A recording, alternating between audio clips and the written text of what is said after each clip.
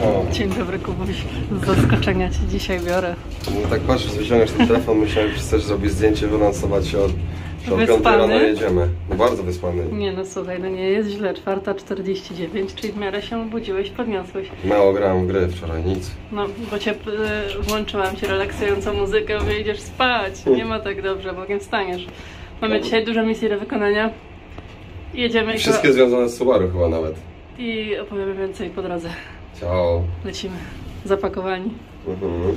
Kopcia, mamy tutaj strefę wolną od cenzury, więc możesz śmiało. Bardzo mi się to podoba. Podgłośnić radio, nie na radio wyciszone. Możesz śmiało używać słów. No chciałem powiedzieć, że idziemy z paroma misjami naraz. I z misją do STI główną i z misją mniej główną- Poboczną. Poboczną, tak. E, Wiedźmin 3 siekania. albo Za dużo gier generalnie. O, nie tu, tu, a dobrze. A, może I się tak. wyjedzie.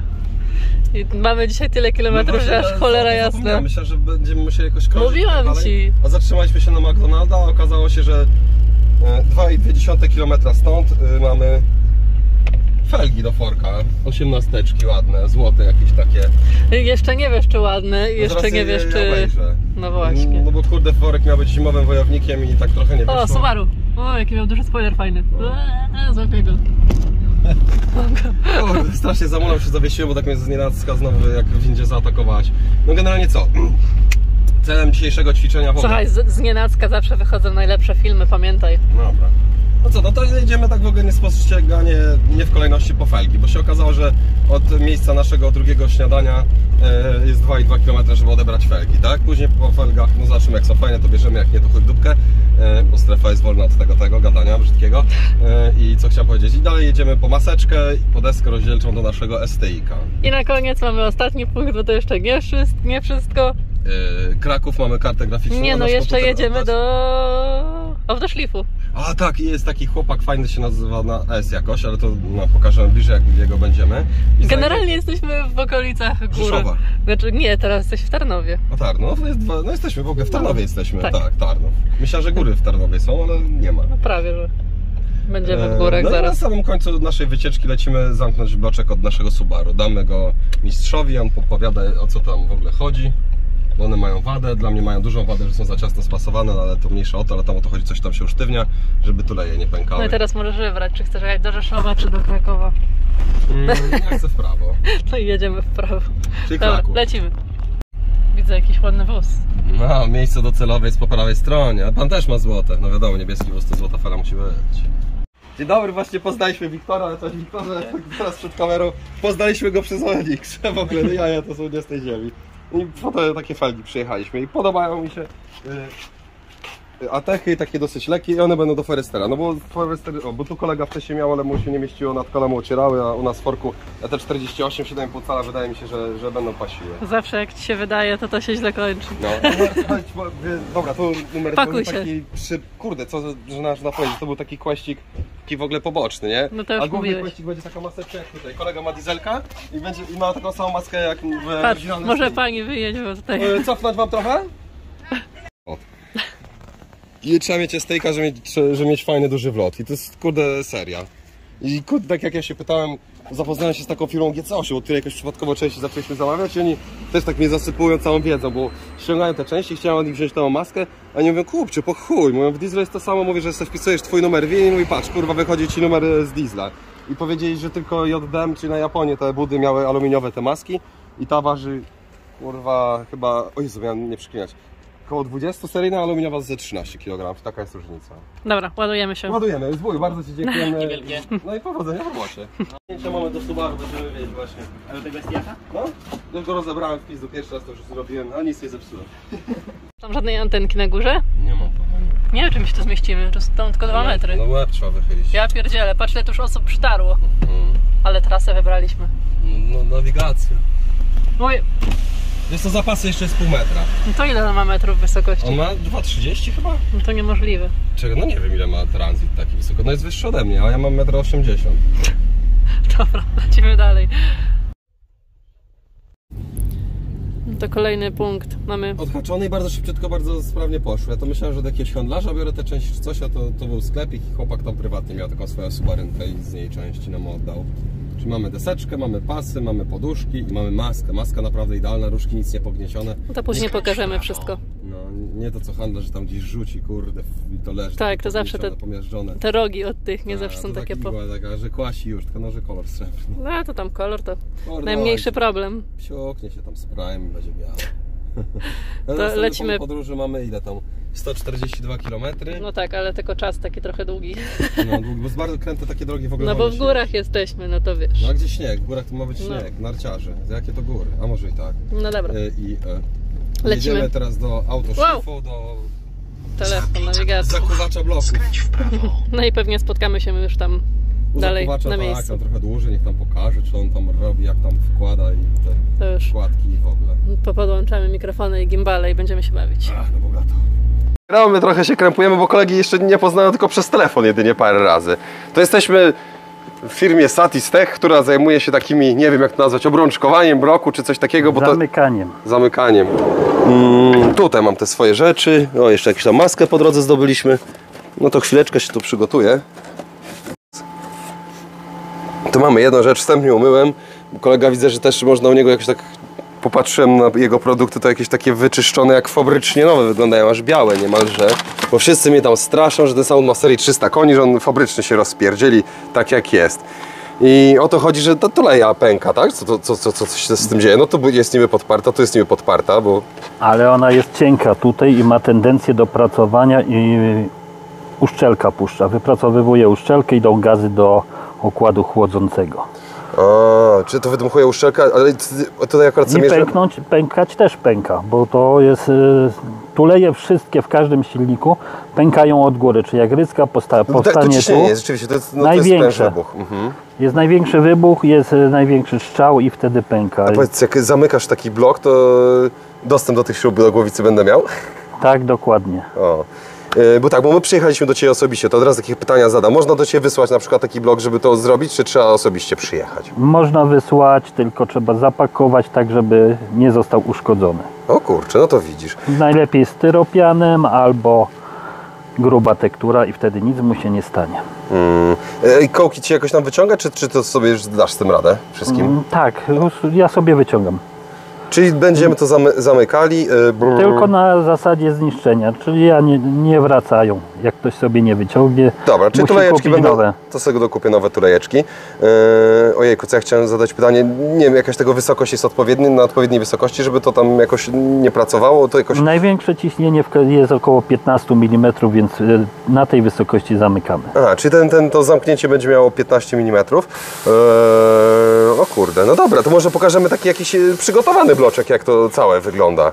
Yy, bo to skąd to się wzięło w ogóle taki pomysł na to w Polsce? Nie wiem, ludzie jakoś z motorsportu do Ciebie przyjeżdżali, że się rozpieprzało te silniki Subaru i że, żeby tam poprawiać te bloki w nich, czy to jest na wzór robione oryginalnych takich bloków, bo niektóre dwa- dwulitrowe wiem, że były zamknięte. Ten jest półotwarty i jeszcze był całkowicie otwarty. Ja w Nissanie w ogóle chciałem powiedzieć, jak ja Cię poznałem, tak Cię zagaduję, bombarduję, bo Ty do mnie kiedyś napisałeś, jak ja robiłem jakiegoś Nissana, że, że w Nissanie chciałbyś spróbować swoich sił, że VQ35 Że miałem zrobiony i podesłałem zdjęcia na A, no to nawet tak było, no. To, to wtedy... VQ35 i VQ37 już mam technologię przygotowaną. A, no bo tak się poznaliśmy właśnie, że wysyłałeś mi te zdjęcia, ja mówię, e, ja mam tam swój patent, bo ja sobie tam kiedyś sobie spawałem, później takie kuleczki się tutaj wsadzało. Ja uważam, że spawanie jest najgorsze, co może być. O, Dlatego, że nawet Subaru dostałem jedno pospawane mhm. I był, jeżeli za ostro się pospawa, to potrafi wciąg spawalniczy rozwarstwić między tuleją kurde, no tak, a tym. I tutaj widać, czuć było po prostu uskok łusko. i klient nie wiedział, gdzie mu gazy uciekają. I gazy szły tutaj pod płaszczem całkiem O. na dół. Aha, Bo tak tu jest między- zalana A aluminium. jest, widzę, widzę, widzę, bo aluminium jest aż pierwsze pół centymetra jest jakby aluminium? Zobacz, Tak. tak. Widzisz, dotąd widać, e, dotąd mam aluminium, Aluminium jest a zalane później od jest góry. I teraz jak za mocno pospawamy, roz, rozwarstwia nam No tu tak. na dole i ucieka w dół. O kurde, no w dół i później do wody idzie. Czy takie kołkowanie? Nawet nie do wody, tylko od razu do oleju. Do oleju idzie, o kurde. E, O Jezus Maria, ale ja tutaj aż za- zakręcony jestem taki dzisiaj. E, No tak, bo to się będzie trzymało, że tuleje się nie rozciągały. Przed chwilą oglądaliśmy Volvo, że jakoś ma taką wadę, że ma nacięcie tutaj. Tutaj tego akurat na szczęście nacięcia nie ma. Możemy to Volvo pokazać. No to idziemy po resztę gratów. Przy... O, 5 cylindrów? 6. O, to jest silnik... Kurde, co to za silnik? Jest 2.9 3.0? 3.0 BMW A, to jest N54. BMW, ja już tak myślę, jakie to jest Volvo, bo Volvo też masz. BMW na takie same problemy cierpią? Nie, to jest wzmacniane pod motorsport. A, pod motorsport jakieś wzmocnienie. A to jest? To jest Volvo. To jest Volvo. Kurde, kolega silny. Chciałem pomóc, a to bardziej przeszkadzam, jak pomagam. Volvo, Volvo też 6 cylindrów. Czy to Też jest taki, sześć te, cylindrów. szóst, te szóstka tak zwana? Tak, też One też takie problemy miały? Wszystkie Volvo mają cienką ściankę, bo jest rozcięte. Zobacz, kotek. Tu jest wkładka wstawiona i Wiesz, bo ja pamiętam właśnie przed chwilą pokazywałeś taki seryjny, że jest taki jakby szlifierką tutaj nacięty i, i to pęka jakby ze sobą. jest tutaj cienka ścianka, jest tuleja, później minimalnie aluminium. A możemy troszeczkę zdradzić na, na czym polega, jak, jak to się tam wybija czy coś, że chcesz o tym powiedzieć, że najpierw trzeba, trzeba blok tam obrobić jakoś na CNC i tak dalej? No musi być obrobiony, bo każdy odlew ma pochylone ścianki A. i chropowate, więc No tak, nie ma dolegania idealnego. Więc musimy wyprostować, wypionować wszystkie ścianki i dopiero wkładkę A wkładkę prasować. tak wprasowuje się. A to jak na ciepło, na zimno, to jest jakaś tam tajemnica, sekret, czy... Jedyna, jest pytanie zawsze od klientów, bo się naoglądają AIG, że ciepło, zimno, czyli grze, e, Mhm. Grzać blok grzeją, i na na zimną wkładkę. tylko jest jeden mały problem przy tej konstrukcji. Jak wiadomo, A tak jak rozgrzejemy, zmienia się rozstaw. A jeżeli pęknąć mu... A, zostaw się A zmieni. jak się zmieni rozstaw, to już nie włożymy. A, Więc to musi być wprasowane w tej samej temperaturze. a, Na wcisk. Mam nadzieję, że żadnych sekretów tutaj nie zdradzasz. No ale kompleksowo po prostu daje się te bloki, to obrabiasz. Zobacz, tylko tu tutaj jak to jest można fajnie zrobione. To wygląda jakby, jakby ktoś, nie wiem, wylał coś i na zewnątrz obrobił. Że tu w ogóle żadnej przerwy nie ma. Że, o ja podrapałem, ale no tak na zero wszystko spasowane. To zadanie wychłodzić cały blok, tak jak jest oryginalnie silnik otwarty. No kiedyś były, pamiętam, to się block guardy nazywały po angielsku i że na przykład jakąś tam mniejszą ilość dziurek miała. Tu widzę dużo tych dziurek jest porobionych. Czyli To nie że- ma znaczenia, bo tak jak mosty się buduje, to co kawałek można dać podporę No. i mamy kratownicę, która jest naprawdę wytrzymała. Fajne to. A ja tam u Ciebie widziałem fajną taką maszynę CNC, która to wszystko wycinała. Będziemy mogli tam kawałek nagrać, zobaczcie jak to wygląda. W ogóle może się zapytamy najpierw ile coś takiego kosztuje. Ile kosztuje taka na przykład modyfikacja e, bloku Subaru? I powiedz mi, czy Tobie oddaje blok i daje go później na planowanie, czy już na gotowo od Ciebie się odbiera gotowy produkt? E, To jest kwestia do uzgodnienia, bo Aha. klienci mają swoich No zaprzyjaźnionych z reguły ja też mam szlifierzy. swoją zaprzyjaźnioną firmę, co mi cylindry będzie szlifowała i oni od razu planują. Czyli można Tobie zlecić kompleksowo? Samo zamknięcie albo kompleksowo. Najszybciej jest samo zamknięcie, więc e, Mhm. zamknąć i każdy sobie robi. Każdy wie, że ma dobrze później splanowane cylindry A jeszcze takie obrobione. pytanie mam, czy można na przykład zamknąć blok i zostawić go w nominale? Nie ma takiego ryzyka jak w spawaniu, że się tuleja robi jajowata i trzeba szlif robić? Zawsze są jakieś naprężenie, zawsze jest ryzyko. Czyli warto zawsze, zawsze po zamknięciu trzeba zrobić szlif i tyle, żeby było 100% pewność. Chyba, że wyjdzie e, minimalne, bo jest deformacja zawsze do środka. Mhm. Jeżeli jest honowanie osełką odpowiednie, to możliwe, że uda się to wyprowadzić. No bo jak Ale tam nie ma, ściśnie czy coś, no to, nie ma pewnie. stuprocentowej mm, gwarancji, że będzie, że nie wpadnie ani owal, ani nie zmieni wymiaru. Kurczę, ale to fajnie wygląda, no bo tak w fabryce to tak powinno wychodzić, nie wiem czemu tak to spierdzielili, bo nie wiem, no, Ekonomia. jako, a, że było tanie, tak aluminium pójdzie im na blok kilogram mniej, no nie, to... taniej, tańsze wykonanie, bo wtedy idzie to z formy ciśnieniowej, a nie odlew. A, widzisz, wszystko tłumaczysz. To też jest jakiś twój element, to? Takie coś? Tak. Aha, tutaj jest e, łańcuch rząd. Rozrząd, łańcuch. Mhm. Żeby się go dało zamontować, ten element jest wyciągany na czas montażu. Aha, Po zamontowaniu wkładamy sobie go. no to ciasno jest spasowane, wiadomo. O kurczę, ale ciasno, fajnie. Prawie za to można go podnieść. Ha, już sztywnia to wszystko. Jesz, a, dodatkowa podpora zewnętrznej tulei, tak jakby, Tak, to bo jest tu jest za długi odcinek, aby to. No tak, tak, tak, że dodatkowo, tam, kurde, ale to ładne, czyste takie wszystko. A, już wiem, gdzie niektóre firmy wysyłają chyba te bloki subarowe, gdzie robią. No nic, bo ja bym chciał jeszcze zobaczyć ta maszyna na cence, bo generalnie wiem, a jeszcze chciałem zapytać o koszty. Na przykład, nie wiem, no, klient do Ciebie przysyła, no, no przychodzi, przywozi, wysyła taki blok. Ile jest taki koszt? Nie, są wiele wariantów na przykład zamknięć, że nie wiem, niższe, wyższe jakieś zamknięcie, czy Nie, zawsze standardowe? standardowe, bo wyższe, niższe nie ma sensu. Ale to cena jest stała, żeby nie mieszać, bo klienci wtedy nie wiedzą, co Mhm. są. Ja wykonuję tą usługę za 1500 plus VAT. Aha, i już wszystko wiemy. I żeby klienci jak wysyłają bloki, najlepiej, że tulejki jak chcą odratować, że wyciągali we własnym zakresie tulejki. Dokładnie. O. I to jest y, koszt y, za, za, Za za zamknięcie. Plus wiadomo, ewentualnie ktoś chce, żeby wyczyścić tak idealnie, żeby splanować. A w razie co, tobie też można zlecić szlif y, cylindrów pod nadwymiarowe tłoki? Tak, mam zaprzyjaźnionego szlifierza, który to wykonuje. Kurczę, no fajna robota, no tam to wygląda, no moim zdaniem fabryka powinna tak robić, że jest, nie wiem, a ty z jakiego silnika BMW? O, ten, ten, ten bloczek? To jest BMW N54. To świeży silnik, ja to nimi jeżdżę, bo one bardzo lubię nimi jeździć, bo mało palą i zapierdalają. I one już taką wadę mają, że są takie otwarte? Nie, to jest pod motorsport, tak jak mówiłem, a N55 mają dodatkowo rozcięte, ale czy one pękają, tego nie jestem w stanie powiedzieć. Ktoś sobie zażyczył, że tak chce mieć super pancerny, Tak. prosty taki blok, nie wiem, 800 koni z niego będzie robił czy coś i... No 800 koni wyciągnęli O, o, pod to... Częstochową, z tego co wiem. O kurde. No, ojej, ale mamy tak, na, nazbieraliśmy tutaj, jak to kolega powiedział, tematycznie. Tutaj mamy suwaraczki. O tego klienta bym opierdzielił. Ja to zobacz, jak się postarałem, jak umyłem karczarem. Zmienią rotacyjną. No nie ja, tylko Rafcio i na ciepło i w ogóle. To ktoś takiego brudaska przysłał. Ale tutaj właśnie pan kolega z jakiej firmy? Satistech? Satistech. Yy, No, chciał nam pokazać, jak to wygląda jako surówka, taka niesplanowana jeszcze, a że to jest obrobione, to już jest ten element wsadzony, że zobacz konie, że blok już jest cały wypełniony. To widzę, że jest parę set Tu są otwory pod... A pod te śruby. dobra, wejdą mi z palcem w dupie.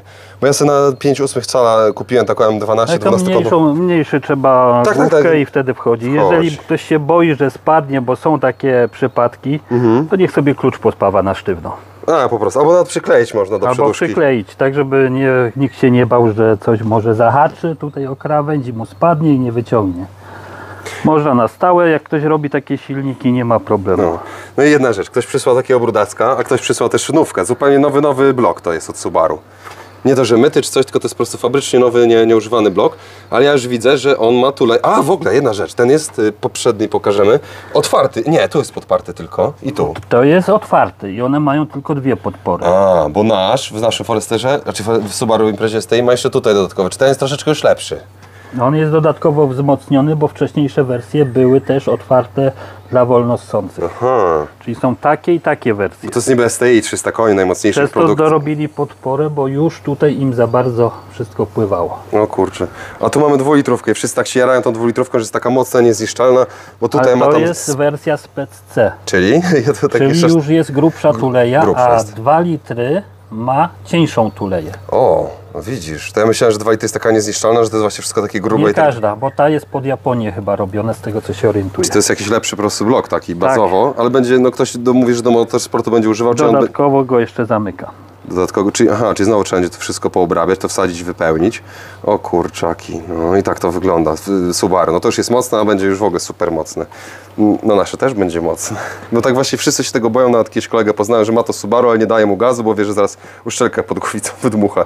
Z reguły było coś takiego, gdzieś przeczytałem w internetach, że co 50 tysięcy kilometrów trzeba uszczelkę pod głowicą wymieniać, że tam można wsadzić szpilki ARP, to też chwilę dłużej to, to, to pochodzi. Ale no, ale... to pytanie, czy to chodziło o 2,5 litra czy 2 litra? 2,5 litra, 2,5 litra. Przez to właśnie tą cienką ściankę. Tak, bo Nawet do dłuższego użytkowania, czyli Nawet jakbym nie chciał zwiększać mocy, żeby ten samochód był sprawny, to i tak po prostu zamknąć, ale zostaje seryjne tłoki, seryjne korby i wtedy nie ma ryzyka, że wywali tą szczelkę pod głowicą po prostu na takim seryjnym samochodzie po prostu. można powiedzieć, że nie ma ryzyka. Zawsze uszczelkę może wywalić, ale ryzyko jest zmniejszone o 90%. O, to, to, to, to przekonuje 90, nie tam 10, 15, tylko 90%. Zadałem takie jeszcze jedno pytanie, czy jak wsadzamy tego tam, e, zamykamy ten blok, e, czy nie, nie traci on właściwości chłodzących, nie, nie grzeje się to jakoś tuleje, ta woda dobrze przepływa, bo tu widzę takie patenty, bo tak jak, mówię, widziałem kiedyś amerykańskie części, to one były nie bez tego kanałka w środku, tylko na płasko były, miały dziury dowiercone. To nie wiem, do Honda Civic to były takie jakieś te blogardy się Ale nazywały. to się różnie rozwiązuje. Tutaj na przykład tuleje Dartona są z kołnierzem. A są, ja do Zetki jak kupowałem i Tak, takie dziurki są też. porobione, są dołem podparte, Mhm. kołnierz zrobiony, żeby rama powstała i jest wychłodzone całe do samej góry. No jest, są wszędzie dziurki rzucone. A, z tej, o, bo dobra, bo te z Ameryki, co wszystkie na przykład ja widziałem, to były, że z dwóch stron były tak jak tu. Tak, ale uszczelką zamykamy i mamy stojącą wodę. Aha. A, A, jak tutaj... robimy rowek, to przepływa sobie Mię... Aha, no i to jest ten twój patencik taki, widzisz. Mam nadzieję, że za dużo patentów tutaj nie zdradzamy. I to jest do Volvo chyba, co? Bo widzę, że ma te To mostki takie. Volvo. I one... tutaj. Pokażemy Volvo. Ogólnie wszystkie żelki, które mają rozcięcie między O, cylindrami. widzisz kochanie? Patrz. A tu jest Volvo z oryginalnym rozcięciem. A i to już jest, mówię, a to już pękło. Że stalowa część została, to aluminium się rozwaliło, czy ten blok chyba już mo, mo, może za, za, za późno do Ciebie przyjechał. Czy jeszcze da się go uratować ten blok? Tylko tulej, zamknięcie plus y, tulejowanie. O, tu lejowanie jeszcze trzeba Tu jest jeszcze tak, y, taka zagwózdka, że nie ma nadwymiarowych tłoków. Zużyte tuleje, No, no. nominalne i tyle trzeba wsadzać. nominał i koniec. To jest też Volvo 5 cylindrów? No to Tak, Volvo. to jest to samo, to i to. A, dobra, to jest, jest- seria. A to już jest zamknięty. O kurczę, jakie to jest fajne zamknięcie, zobacz, taki zgra, zgrabny kształcik, bo tutaj też, żeby woda przepływała i tu kwadrat... O kurde, no. Jest wszystko fajnie pozamykane. A tu jest najnowsza nowość, bym powiedział. Ford Mustang. Nie wiedziałem, że te samochody też cierpią na to... Chociaż nie, To mówili. nie, 2-3 litraże w Fordy Focusy, te RS-y, te nowe, trzeciej generacji i z tymi Mustangami, że są problemy, jak się robi moc około 400 koni z kolei, że wydmuchuje cały czas uszczelki pod głowicą. Ja pamiętam kolega kiedyś miał Batman, chciałem go pozdrowić i, i się strasznie stresował, że żadnego chip tuningu nic nie robił, bo mówi, że mu zaraz tam blok pęknie. I tutaj są też takie przypadki, że nie, że tuleje rozciąga, uszczelki wydmuchuje pod głowicą, co z tym się to ekobustami jest 2-3 zrobione dzieje? pod motorsport, żeby podnosić moc. Przy standardowym użytkowaniu No nie, nie wiem. seryjna moc standardowe użytkowanie nie ma problemu. Ale jak się właśnie zwiększa moc, to ja wiem, że coś też są problemy z uszczelkami pod głowicą, ale nawet nie wiem, czy, czy bloki jakoś tam w nich nie pękają.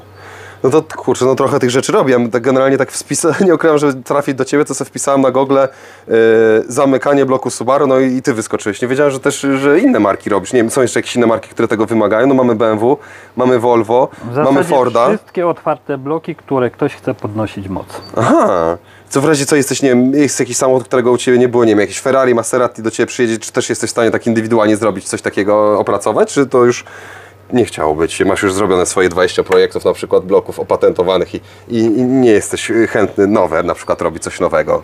Zawsze coś się nowego robi, żeby się nie zastać w miejscu. A, i żeby się nie nudzić. No to co, to ja się nie mogę doczekać, mógłby, moglibyśmy nagrać maszynę, jak tam działa, coś, jakiś programik tam wrzucić, żeby zaczęła robić, bo już nie wiem, czy nie skończyła właśnie roboty. Skończyła, skończyła. Skończyła. Puścimy. To puścimy, to rewelacja. No to widzimy się przy maszynie. A co to kolega dorobi? To jest ryba chyba jakaś, co? To jest do, do, do łowienia ryb, jakiś odlew z tego powstaje? Tak, to Coś jest ty elektroda na wykonanie formy do. Silikonowych we. To się weblery chyba nazywa dokładnie. Yy, mi się nie czy wob, wobler. Woblery to są to takie spodnie, a to na żywca chyba się rzuca taki haczyk, do tego Jest się wsadza. silikonowa ryba, imitacja ryby, którą się po prostu Czyli wrzuca. kolega generalnie z motorsportu, jak, jak w ogóle wpadłeś, żeby te bloki zamykać? Bo ty najpierw robiłeś jakieś tego typu rzeczy, a później mówisz, a będę bloki silnikowe robił, jakieś takie niezniszczalne czy coś? Czy, Nie, czy... ogólnie to robimy formy e, wtryskowe, szczególnie guma, silikon, Aha. a silnik to pierwszy robiłem dla kolegi, który chciał No i tak, to, tak, tak, tak, I tak, od tak tego to się zaczęło i to są dwie, dwie można powiedzieć, od nogi, nogi, na których stoimy, czyli formy plus. O kurczę.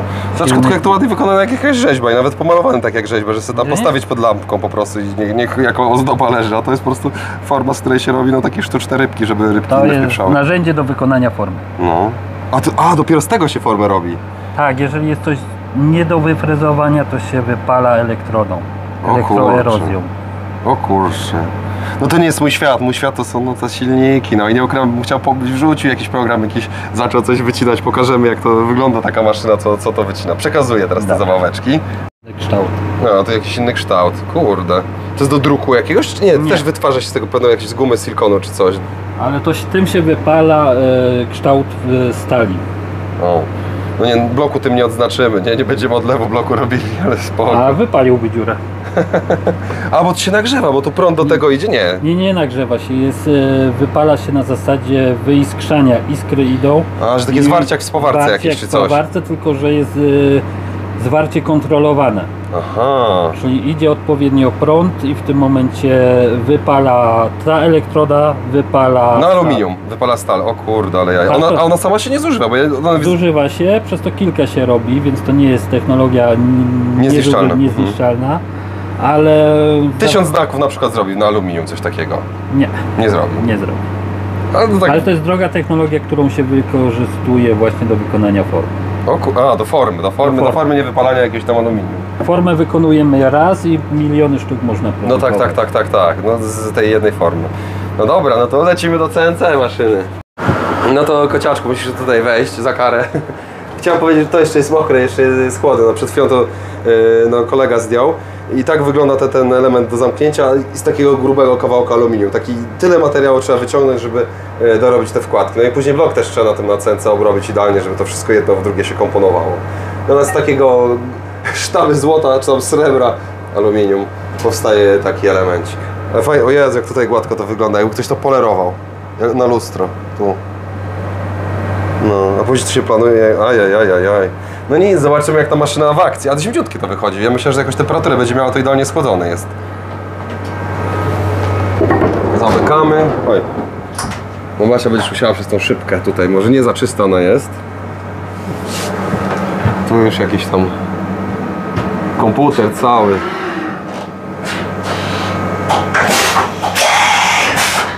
A jednak trochę dźwięki wydaje, bo wcześniej jak to się działo, takie ciche mi się wydawało. To jak u dentysty trochę. Ale generalnie cicho, komfortowo to jest. Głośniej jak ja szlifierką coś tnę, jakieś rury. Za chwilę będzie głośniej. A, będzie głośno za chwilę. A to strumieniami wody wali dużymi. Myślę, że jak sobie tylko polewa, że się chłodzić, a to jak na mini samochodowej.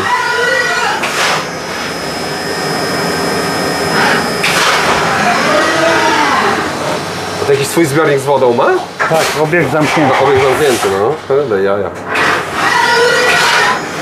A tego... No nie, głośno jest, dobra, dobra. O, aż- podłoga się trzęsie. X, Y i Z, no w matematyce to wszystko miałem. Oś X, Y, Z. I leci. Już gotowe takie elementy. A, to już źle coś pokazałem. Nie ta połówka do nie tej połówki. O i to, i to jest... No i to jest to zamknięcie naszego bloku. Tak to wygląda i te otwory wszystkie po prostu wypełnia, żeby to nie pracowało, że nie rozdmuchiwało tej tulei. No to co, no to tak to mniej więcej powstaje. Wyszliśmy z pomieszczenia, słychać, że to wierci. Ja chciałem pochwalić, że to jest takie Frezuje. ciche. Frezuje, bo wcześniej jakieś takie drobne rzeczy musiał robić, bo coś ciszej robiło. Czyli robiło też to zamknięcie bloku, ale może, a podczas pracy musisz jakieś frezy wymieniać, czy to jednym Tak. frezem? A, to ci, cichszym frezem Mniejsze. wcześniej robił. Teraz jest obróbka zgrubna, później będzie wykańczająca, która ciszej pracuje. No to co, no to przyjechaliśmy, żeby zamknąć, będziemy mieli bloczek ten zamknięty. Wiemy ile to kosztuje, 1500 zł, no bo czekamy do siebie i czekamy na, na efekt końcowy. Później będę musiał to poskładać. Czyli ewentualnie też możemy sobie zażyczyć takie super czyszczenie tutaj u Pana i planowanie na gotowo, czy... Tak, czy, można. O, no i to pokażę, no zobacz kotku z bliska jaki jest brudasek, że jest taki, no taki utleniony, no. Naprawdę karczemem dyszą ponad 200 barów, taka, że o Jezus Maria, no wszystkiego nie domyło, a później pokażemy jak to wszystko wygląda już po, po kompleksowej obróbce. Teraz się dopytuję o to cięcie, no bo na przykład e, kolega ma parę zarzutów, że, że robi takie cięcie, jak jakieś firmy z Ameryki, czy jeszcze jakieś inne firmy tych cięć nie robią. No a to chodzi wszystko, żeby po prostu ten przepływ wody był, żeby zapewnić to idealne chłodzenie tej tulei, że nie było, że nie wiem, że ta tuleja bardziej się grzeje, ta się mniej grzeje, albo że uszczelka głowice na przykład, nie wiem, zamyka e, przepływ wody. Dobrze wytłumaczyłem? Nie, Jeżeli damy...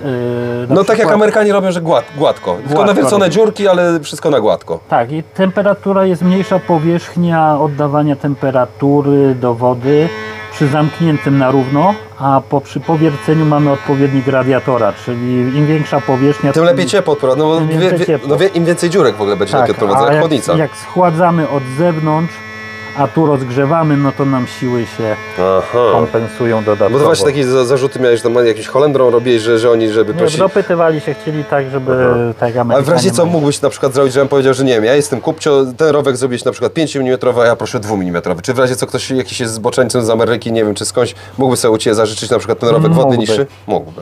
Albo może sobie zażyczyć bez. No tego. bo to już jest taki patent Twój opracowany, no to logiczne jest, że to po prostu no, ta woda sobie jeżeli, pły- pływa. jeżeli, wyeliminie, jeżeli ktoś robi prawdziwy, najmocniejszy motorsport, może sobie zażyć, wtedy się nie przejmuje tak temperaturą. Chłodzę, no to na jedną czwartą mili, na przejedzie przykład 400 metrów ma przejechać i tam silnik na 400 złom czy coś. metrów, y, czy 5 kilometrów, Mhm. to te rowki nie są wymagane. Wtedy mamy To jest takie chłodzenie na dnie, do jazdy na co dzień, na przykład na jakieś na dłuższe dłuższe tory są. Mhm. Fajnie, że kolega wszystko o wyścigach, o rajdach mówi. No dobra, uciekamy, uciekamy, no bo tak... No.